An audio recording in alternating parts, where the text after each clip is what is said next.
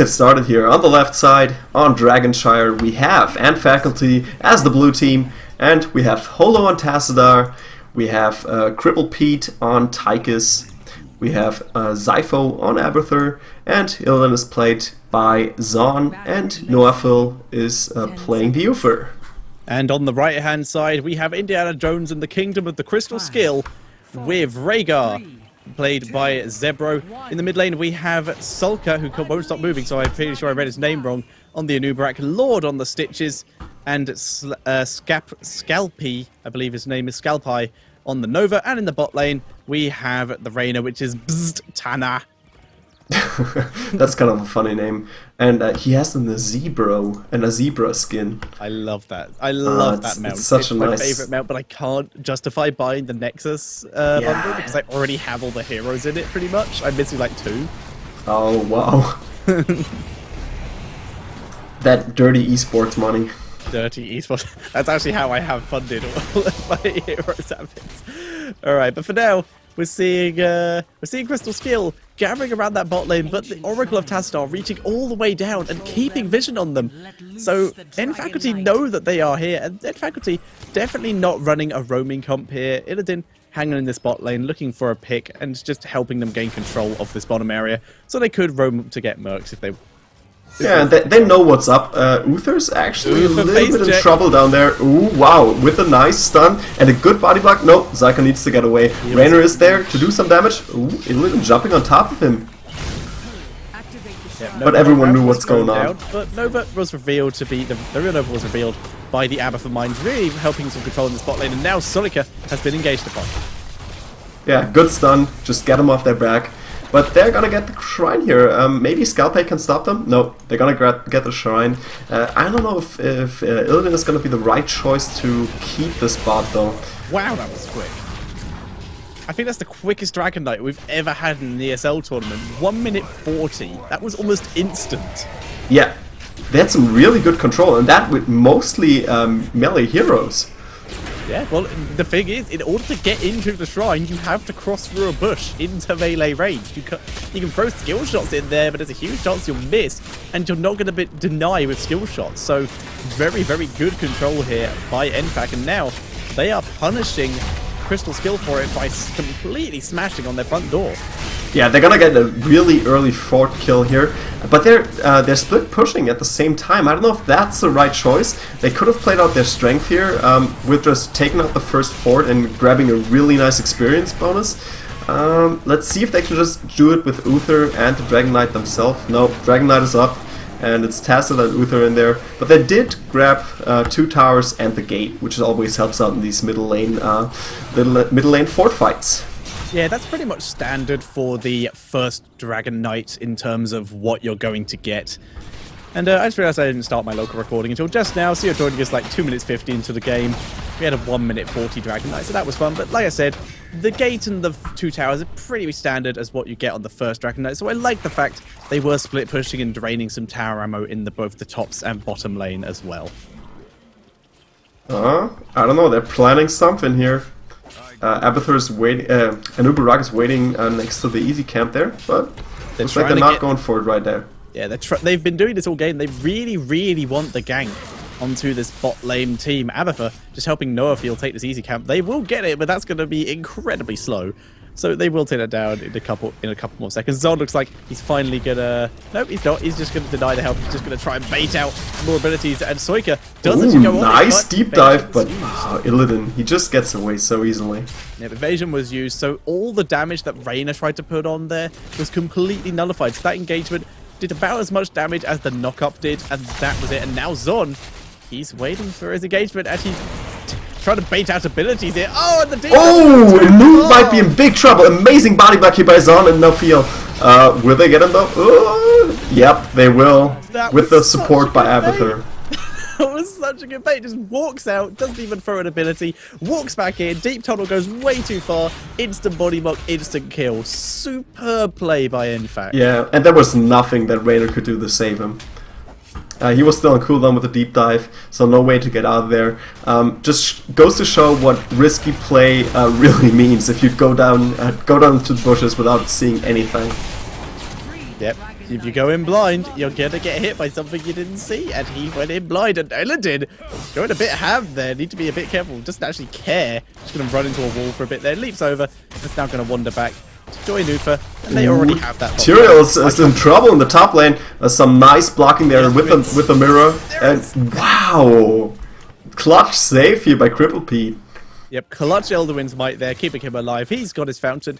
He's going to be gaining that help, but he's not going to be able to get that top shrine back while either Nubarak or Nova are hanging around. But it looks like they're going to begin their roam down to the bot lane. And in the mid lane, I'd like to point out, Lord has been having a horrible game. He's just being bullied constantly by this Abathur. Yep, and um, yeah, um, I think they want uh, they want to do some little bit more damage, try to do a little bit better pushing here uh, down the uh, bot lane. And they grab the Dragon Knight again. Wow, Rehgar really didn't watch out there. Uh, Tychus again able to go for that. Uh, Rehgar did actually attempt to go in to attempt to stop the to take back the top shrine, but Ty uh, Tyrael did fight him and he did win. So Rehgar had to back out, and Stitches was already too low from having to back battle with Tassadar. Holo is surrounded though. He he's in a bit of trouble.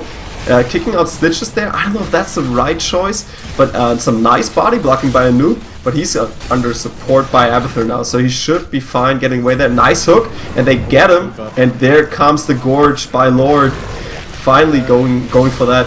Ooh, Illidan moving in now, and Nova missing her ultimate. We see a DC there on the, that's the Nubrak, I believe. He does he does disappear. Nova is still just sort of sitting there doing absolutely nothing. She threw a precision strike and is now just ignoring everything. And in the meantime, we can see that Abathur did in fact Ultimate Evolution the Tassadar, and they're gonna get this middle fort for it. And in the meantime, Taz Tyrael is still up in this top lane, just soaking all the XP. Yeah, he's doing a good job. He's gonna get the gate as well. So um, some really nice split pushing what they're doing here, and I love the save by Tacit. I don't know if you uh, if you ca caught that. Um, there was actually a hook coming in by Stitches, but he was in uh, invulnerability form right there doing the phase shift, and uh, just saving saving himself that way. Yeah, very very well played, and uh, we've seen uh, we have seen Holo on his Tassadar quite a lot. And he's just played superbly every single time. Always on point with those phase shifts, keeping himself alive. Just an incredible player on that particular hero. And while all this is going on, in fact, grabs their hard camp. And I like what Abathur did there. He headed into that area just to get, make sure his Locust could support here and just get a little extra damage done and a little extra tanking.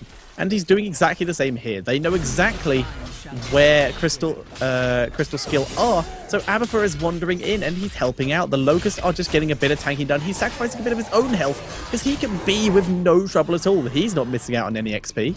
Yeah, and they're really doing a good job as far as uh, map vision is concerned. Uh, they do have the camps going out in all lanes. Uh, Tassadar taking the middle. It's a little bit risky play if you're thinking about, okay, um, just going in blind. But since they do have the locusts on, on the lanes, they do have the mines um, uh, spread out on the map, and just having the camps push out, they know where um, where Crystal Skills is at. It's uh, pretty obvious where Crystal Skills is at at the moment anyway, because they are crushing through the top four. But at the same time, in fact, with four giant camps in this top lane, in this bottom lane, are gonna destroy everything. Towers are gonna go down, and we're gonna see Crystal Skill probably be out, or at least try and get the Dragon Knight as quick as possible. It's almost definitely going to be the Dragon Knight. Nova already heading down there. Yeah, I think Once they're to get the Dragon, Dragon Knight, Knight. But what are you going to do with it? They're going to have the Dragon Knight. Then they all need to be to defend. The Dragon Knight can't really get too much done in the zone. In fact, are going to have to likely back out here. Hook completely misses there. Very well played by Infact. They're still going for this keep, and they can still get it as long as they have these giants. There's the clone, and they're just going for it. The Dragon Knight is so far out, he's not going to be able to help yet. And then Faculty take down the first keep of the game. Who just got eaten? Oh, um, and he's Yeah, and nice pushback. There comes the ultimate. Oh, getting uh, getting the copy um, out uh, the copy Tassadar there, but um, he's still alive. And now they're dishing out on the Dragon Knight. Oh wow, the mobs are still alive. Um, just putting on the artillery fire here. And the Dragon Knight uh, has been strong. If they can take down the Dragon Knight, which they can now that String Ray's gone down, he will go down and Nubarak has to get out. Second a minion wave arrives to help tank this. They can probably take this keep on the left-hand side or go for the core. depending on what they choose to do. Looks like they're just going to harass the keep from out of range. They don't have enough minions to tank the core yet. They will probably get this keep. Tyrael Ooh. gets hooked, but he still will have El'druin's to escape. No, he does go Ah, a little bit too late there. Tiny bit of a delay, and um, that was enough time to Um, take him out. Ampha's right there. Nova's seen him. Oh, the snipe misses from Nova. And while all that was going on, Illidan is sort of just killing everything. These giants are still alive. Tassadar just walks away because uh, Nova missed everything right there. Holo Oh, going wow. on to Nova. They're going to try and take her down with Zon. And Nova will Yeah. go down. And Raynor will also right fall. Just a complete team annihilation here. And I think they're gonna, just going to go for the core. Yeah, and they- they, they are all pretty high up. So they're just going to kill it right here. Abathur is in here as well. He's meleeing the core. He's actually might die if he's not careful due to the splash damage. But uh, he's backed up. He's still there. He's going to symbiote from right there. There's the Divine Oh. Storm. Just CCing what's left of the team. Holo's actually being dropped pretty low. Hollow goes down, but Zon dives in and gets the kill on the core. And N Faculty take game number two in 10 minutes and 32 seconds. 10 kills to 2. That was an amazing game, really quick game. I mean, uh, you said it before, the fastest Dragon Knight you've ever seen, and from that, I think everything, everything just went their way, um, kind of snowballed uh, for Crystal Skill. Um, yeah, good team fights, and I don't know. I, I think it was also a kind of a weird decision. Uh, you said it. I mean, going for the Dragon Knight while they were being attacked, and also going in there with a noob. I mean, you do need a noob to engage any kind of fight uh, with the composition they had. need the CC against this kind of composition. You need something to try and slow down Illidan, something to at least distract one of the two Tassadars, because they are huge when they're in those those uh, Archon forms. So you need something to deal with them. And if you have your main source of CC in there, like they had Rehgar on the map in a very similar position, he could have run down and done it. He would have got the same job done. They just wouldn't have had their healer, which would have still been better than not having their CC. That's that's correct. Okay, let's check out um, the bracket if we have any updates. I doubt it, since um, yeah, that Once that again, was such a quick game. game. Uh,